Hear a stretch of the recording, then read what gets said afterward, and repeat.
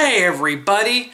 So this Tuesday, Hatred is set to be released on Steam and Desura, and I'm here to tell you whether or not it's worth your money.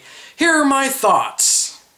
Developed by Polish studio Destructive Creations, Hatred received a lot of controversy upon its initial announcement, going as far as to being removed from Steam Greenlight before being put back on and eventually garnering an adults only rating, something almost unseen in today's gaming landscape. But now that the game is out, is it as controversial as people have been making out to be? Well, that's what I'm here to tell you. Hatred's story is a pretty simple one. The main character hates everything and wants to kill as many people as he can before he dies. What starts as a neighborhood massacre turns into a citywide event as he drives around to different areas, killing anyone that crosses his path. One of the biggest talking points about the game for many people was the idea that this game glorifies mass murder. In truth, there's nothing glorified about it. The main character is never treated like a hero, and you're never given any reason to sympathize with him. He hates everything and wants everyone dead. Even the way the game is structured as a top down shooter reminiscent of Hotline Miami makes everything seem insignificant. He's not a sadist or someone who takes joy in watching people suffer, and you as the player should take no joy in doing so. It feels distinctly detached, and in that way, it's almost a cathartic experience. Even the violence itself seems tame when you compare it to most games being released nowadays. Is it violent? Yes, the game is inherently violent just based on its subject matter, but when you compare it to games like Mortal Kombat, Grand Theft Auto, or even the aforementioned Hotline Miami, it doesn't seem that bad. It's graphic, but not to the point of excess. It doesn't use shock imagery for the sake of shock value, rather, it grounds you in what you're witnessing. When the camera zooms in on executions, you aren't supposed to enjoy it, rather, it's a means to an inevitable end.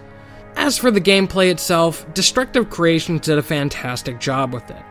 You can tell when you're playing it that this isn't their first time making a shooter.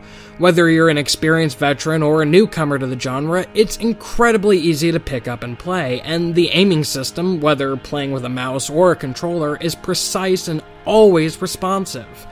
My only gripe would be with the driving controls, but even then, those don't happen often enough to be a real issue.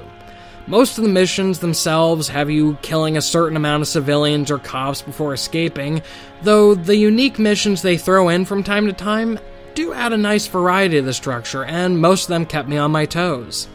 Outside of a few bugs and the occasional crash here and there, the game ran really smoothly throughout and definitely kept my interest while I was playing.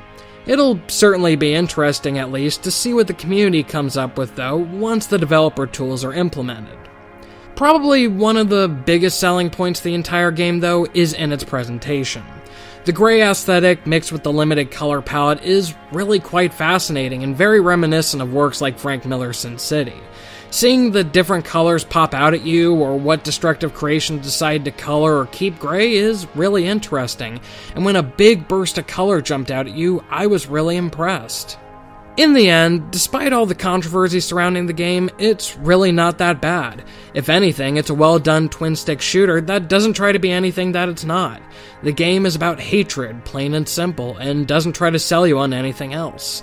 It's certainly not a game for everyone, as some people will still probably be offended by the subject matter, but I enjoyed my time with the game, and while it's certainly not one of the most memorable games in its genre, if it's something that interests you, I say give it a shot.